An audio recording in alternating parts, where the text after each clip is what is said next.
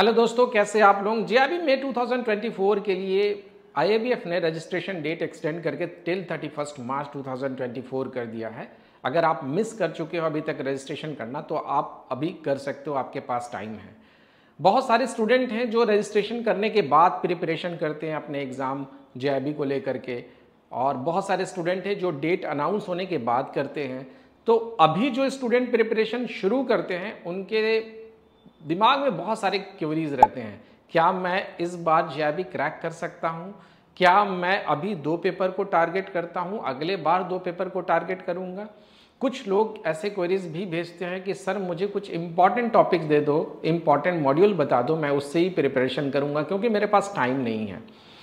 बहुत सारे लोग नहीं करना चाहते हैं कि, नहीं टाइम नहीं है बिज़ी शेड्यूल है, इसलिए मैं प्रिपरेशन अभी नहीं कर पाऊँगा।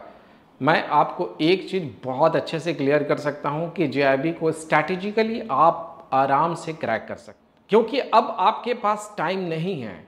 आप उतने सिलेबस को कवर नहीं कर सकते हो तो जो ट्रेडिशनल मेथड ऑफ़ प्रिपरेशन है वो अब काम नहीं आएगा। लाइक like, पहले आप क्या करते हो? वीडियो लेक्चर सुनते हो लाइव क्लासेस अटेंड करते हो फिर ई बुक्स देखते हो फिर आप मॉक टेस्ट लगाते हो। तो ये स्ट्रैटेजी अगर आप फॉलो करोगे तो अगले चार महीने तक सिलेबस कवर नहीं होने वाला है। अब क्या करना होगा? तो अब आपको रिवर्स गियर में प्रिपरेशन करना पड़ेगा। तो रिवर्स कैसे करेंगे? अब आप मॉक टेस्ट पहले लगाएँगे। मॉक टेस्ट लगाने के बाद उसके एक्सप्लेनेशन को एनालाइज करेंगे।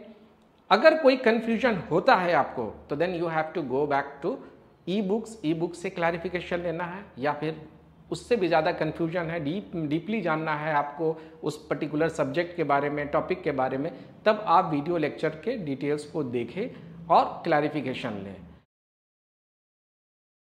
अभी टारगेट दो पेपर को लेकर के करेंगे, एक इवनिंग में और एक मॉर्निंग में। मॉर्निंग में अगर आप एक paper I I F S लेकर के चल रहे हैं तो इवनिंग में आप पीपीबी एएफएम अभी क्लियर करेंगे। अगले थर्टी डेज़ तक आपको टारगेट करना है कि ये दो पेपर क्लियर हो जाए। सबसे पहले आप मॉक टेस्ट लगाएँगे chapter wise topic wise analyse करेंगे। अगर कोई कन्फ्यूज़न होता है तो आप ई बुक्स में जाएँगे।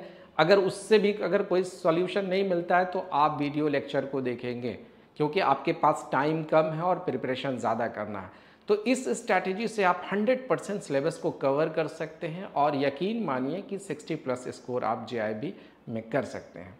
तो आप ज़रूर से बताइएगा कमेंट्स करके कि ये आप मेथड आपको कैसा लगा। मैं आपके कमेंट्स का वेट करूँगा। All the best